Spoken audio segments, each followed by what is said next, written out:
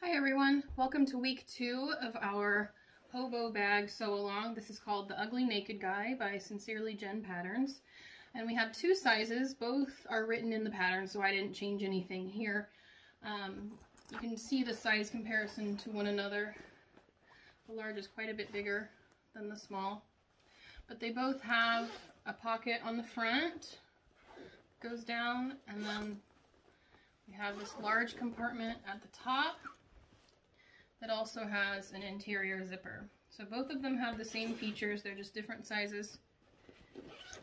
And I'll show you a couple of options that I've done. This one was the traditional way that the pattern is written with the zipper tab and everything written exactly as the pattern is. And this one I changed a couple of things. I did um, put the zipper in the seam here on this one and on the interior, I've used waterproof canvas, which helped eliminate a little bit of interfacing. And it gives it, you can clean it out a little bit better if it gets yucky in the bottom and everything. So on the one we're doing today, I've cut out the small. And the procedure is the same, so it doesn't really matter which one you've chosen. You'll have to look at your pattern to make sure you get your zipper lengths right. And there are a couple of seam allowance differences, but it's it's not very much. So I'll go through those as we go. Um, the fabric I'll be using is this Planet Collage, which we'll be getting to Royal Pixie Custom Fabric coming next month. So keep an eye out for that. We have a whole new round coming of awesome prints. So go ahead and gather your supplies and let's get to sewing. Okay, the first piece that you need is the handle connectors. They are these little 4x2 pieces and you'll be putting your rectangle rings in these so we fold them in half with the short ends together so it makes a two by two square. And then open it back up so you can see your middle. Put these in toward the center, each side in toward the center. And then fold it in half again on that original crease that you made. Okay. And I'll fold both of them before I sew them. Makes it a little easier for me. So again, we fold the center, so it makes a two by two square. In toward the center, in toward the center, and then together. Okay, so we sew down each side of this.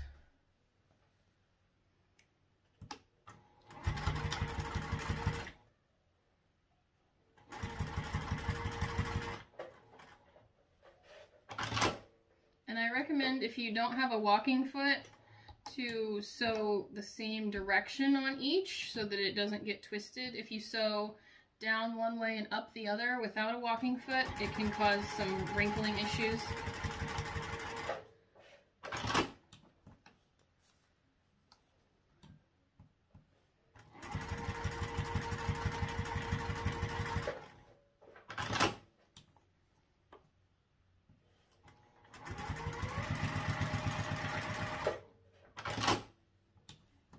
So we have these two. We're going to do the same thing with the handle, only we're not going to bring, obviously, the short ends into the side. We'll be doing the long end. And my handle is much longer than yours. I've decided to make it into a crossbody this time. So I've done, I think this is about, this is the width of the fabric for the fabric. So it's about 58 inches long, but I'll need to cut off some for the ends, obviously. So you do the same thing that you did with your handle connectors. You'll fold it in the middle, like so. Fold it to the middle. This is easier to do down on the table, but I'm trying for you. And then you'll fold these in together. Okay, I usually pin the whole length of it and then sew it together. So you know how to do that. Sew down each edge just like we did the handle connectors.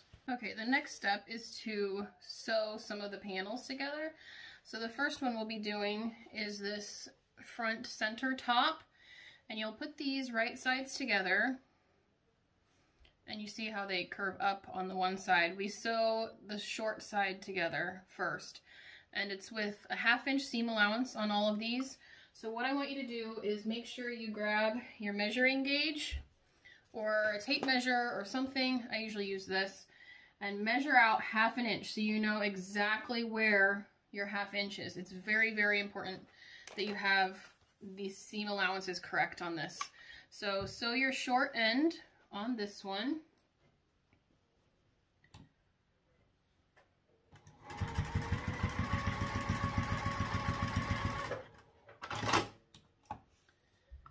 And we open it up and press your seams out. And with all this interfacing on here, we have two layers of interfacing.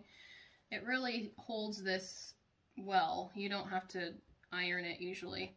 And you top stitch an eighth of an inch away from the seam on each side. And obviously the top stitching is very visible, so be careful when you do this. What I usually do is find a place on my foot and I keep that seam lined up right with that place on my foot. And then I flip it over and do the same thing so that it's always the same space apart from my seam. And I'll do the same thing on this side. Sorry. I'll do it like this on this side.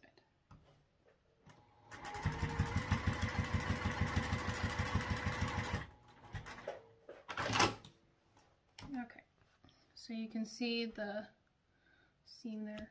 It looks nice. This is a feature of this bag, so make sure you do your top stitching nicely. You'll go ahead and do the same thing with the small, well not small, small or large, front, center, bottoms, and obviously these are the same. So it doesn't matter which side you do this one, you can do it on either side.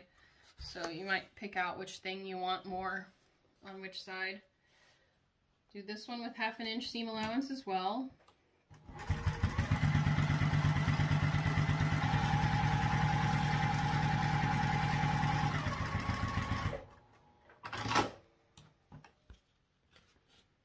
Okay, and then we'll top stitch this too. So press that, and I usually just finger press it and it's enough just finger pressing it to keep the seam open. Like that. Line that seam up with that place on your foot. And keep it right there the whole time.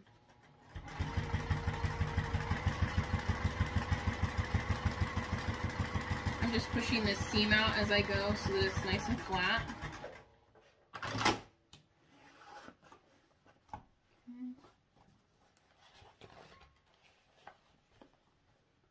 Flip it over and keep that seam right in that place on my foot that I've chosen.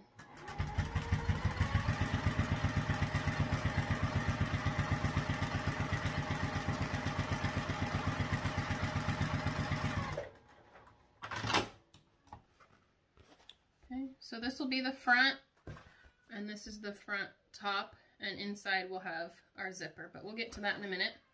We can also do the back center panels, and these ones are similar where they have the curve up, so you want to sew this side, the, the shorter side, together.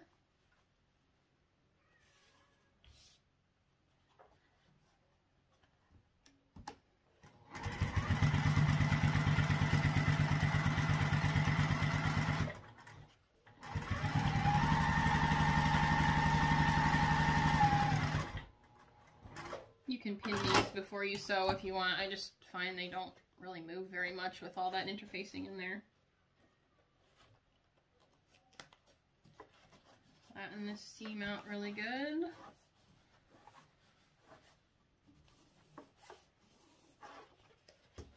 And top stitch.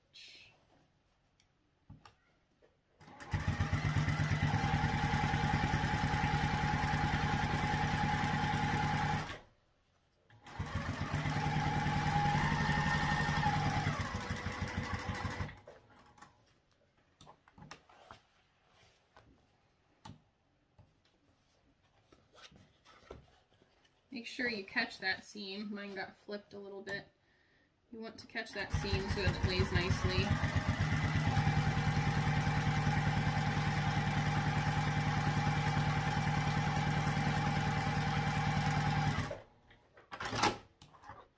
Okay, and that's the middle of your back. All right, and then the last ones that we will do like that are the side panels. Okay, and you should have four of these. So we'll be making two ends of the bag. And you put these right sides together and the curve should be together as well. So we'll be sewing the curve and when we do that, when we lay it out flat, it'll stand up a little bit and that's what gives the bag a curve. So we'll be sewing the side with the curve this time. Still half an inch.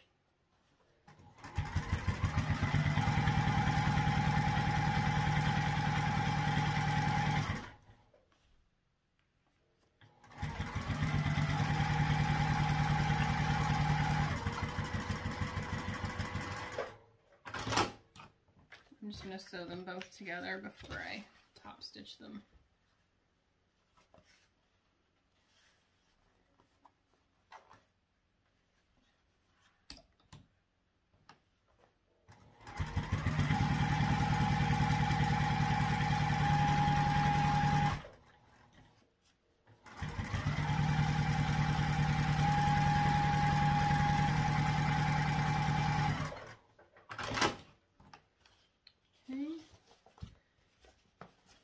I'll show you when you open this up. See how it has a little bit of a curve? That's what you want. It gives the bag its, its shape. Okay, now go ahead and top stitch these. I won't do it on film because you've watched me top stitch three other ones. So I will go ahead and do the zipper install with you. So you want to go ahead and grab your front your front center bottom, so it should be this rectangle piece. And you also want an 8 inch zipper, sorry, 9 inch if you have zipper tape. And then um, we have a pocket. So the front pocket lining here. Okay, so you take your zipper and I'll show you how to install your zipper head. Okay, so make sure, look on your zipper and see whether it's the left or the right one that is above the other. And on mine, it's the right one that's one notch above the other. So put this on and then you have to kind of finagle it in there, but make sure when it comes out the other side that the right one is one tooth above the other.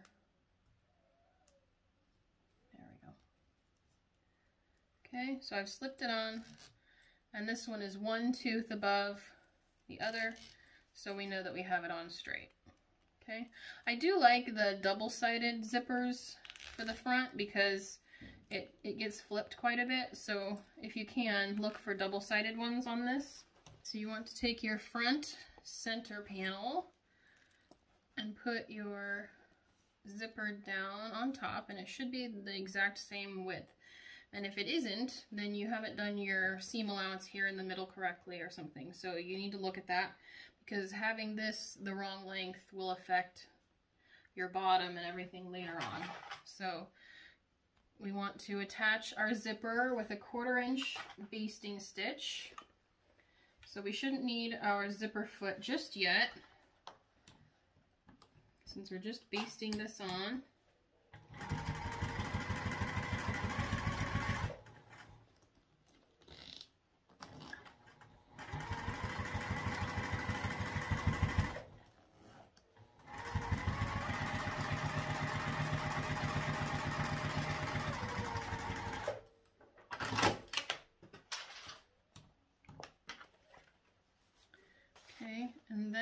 we put our front pocket piece on top so that your zipper is sandwiched in between. Okay, so we're sandwiching our zipper there. And we'll switch to our zipper foot. Okay, so we have our zipper foot on and we want to put the lining on with our full seam allowance at 3 eighths of an inch. So again, if you need to measure it out on your metal plate where 3 eighths of an inch is, I would definitely recommend that. You want your seam allowances to be correct.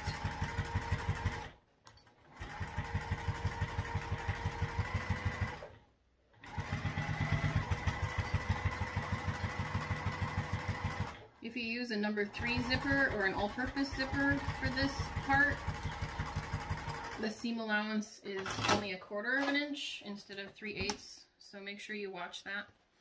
Okay, so we have our panel here. We want to flip this so that our zipper sticks out. Okay, and the instructions say to top stitch this, but I have my zipper foot on and I like to top stitch with my other foot. So I'm going to put the top on before I top stitch and I'll top stitch all at once. So the next part is to put your, this funny shaped piece, the top of your front along the zipper and the other lining with the right side towards your zipper so we're again sandwiching our zipper in between. So I want to show you the layers. Right side together with the zipper is your exterior. And then we have our lining for the panel. One thing to note here is to make sure that your seams for the middle match up. If this is off, it's going to look silly. So make sure that your middle seam here matches up nicely and I would pin that. And you can even sew your front exterior on first and then do your lining with it. I'm just going to do it all at once here. It's up to you how you want to do it. You want to make sure that this seam is lined up. That's the most important part. Okay, so again, we will do 3 8 inch seam allowance here for that zipper. And this is why I like to keep my zipper foot on because we're doing another zipper, the other side of the zipper. That way we're not changing, changing our foot.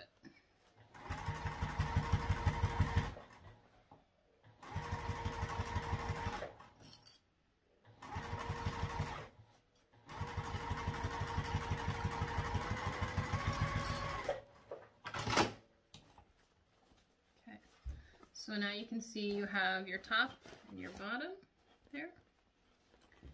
Okay, so now we'll switch back to our other foot.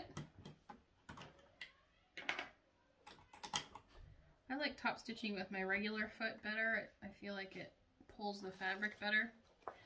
So we'll top stitch, turn your pocket down and top stitch this one up.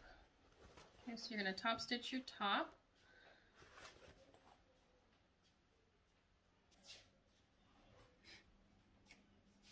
Again, find your place on your foot there and keep it all even. That way all of your top stitching is even.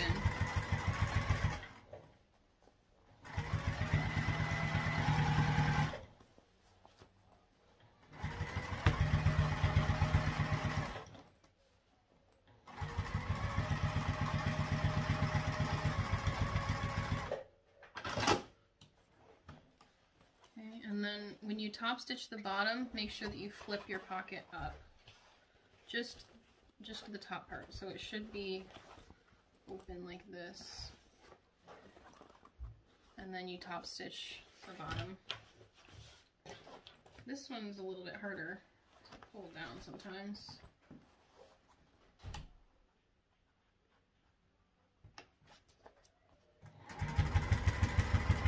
Make sure you keep your fabric pulled away from that zipper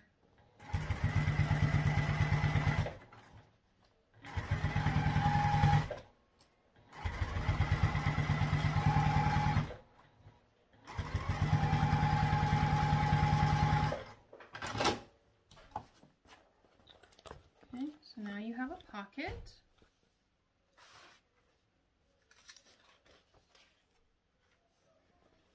Now you pull your, let your flap go down for the pocket.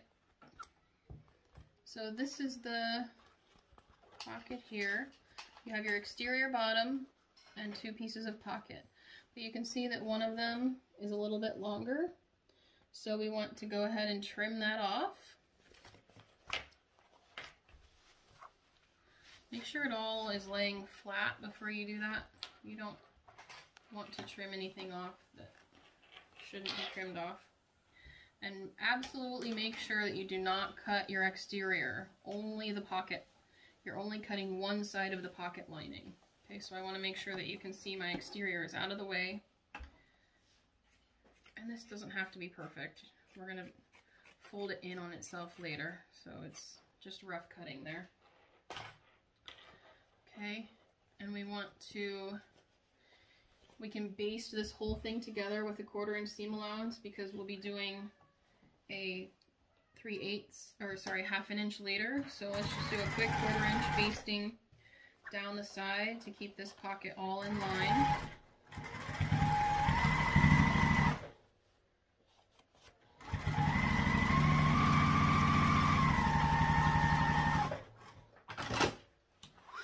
And I'll go down the other side. I like to go down the same way on both sides so there's no wrinkling or anything like that.